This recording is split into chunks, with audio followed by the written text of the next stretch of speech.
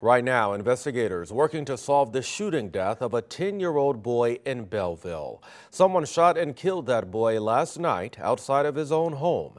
Now at 6, Paula Vasan joining us live now. Uh, Paula, what do we know about that little boy? Well, we've been here where the shooting happened for hours, talking with family, talking with neighbors, and we spoke with the boy's mother right outside that house. And all she said was she hopes that the person who did this to her son is caught.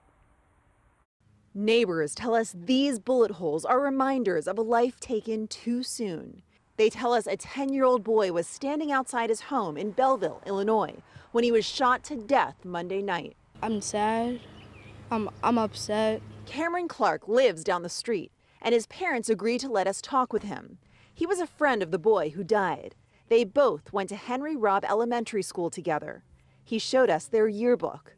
Last night, Cameron learned he'd never ride the school bus with his friend again. There was something on Facebook and my mom told me and I was just, I just got really sad.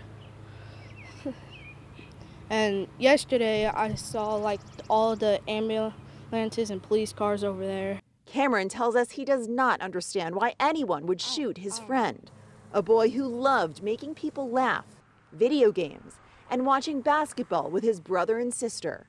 Now he's scared for his own life. I just get scared to like leave my yard and stuff because I don't know if it could happen to me. His father tells us he moved with his family to the neighborhood nine years ago. It's kind of a shocker because there's not a lot that goes on around here.